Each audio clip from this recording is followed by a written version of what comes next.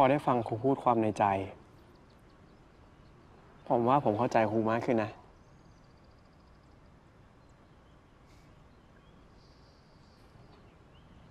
ขอโทษนะครับ ที่ผมโกรธครูตอนนั้นอะ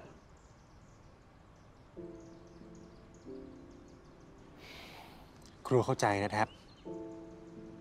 มันก็ไม่แปลกหรอกที่เธอจะรู้สึกโกรธ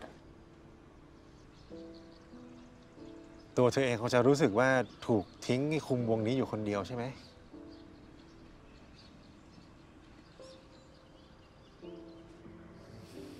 ครูอยากจะย้ำกับเธออีกครั้งนะ เรื่องที่เธอชอบเอาตัวเองไปเปรียบเทียบกับอาคินเขาอะ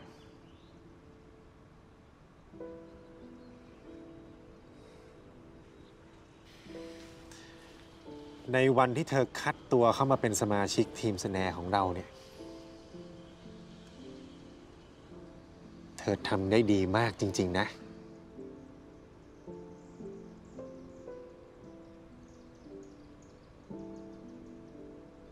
คนเราเนี่ย มีคุณค่าในตัวเองนะ แล้วครูก็เชื่อ เชื่อมาก ๆ เลยว่า ว่าเธอมีดี และดีมากพอที่จะนำวงนี้พัฒนาไปได้อีกไกลเลยล่ะ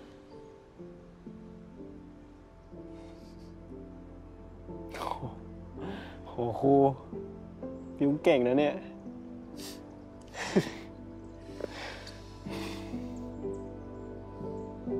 ขอบคุณนะครับ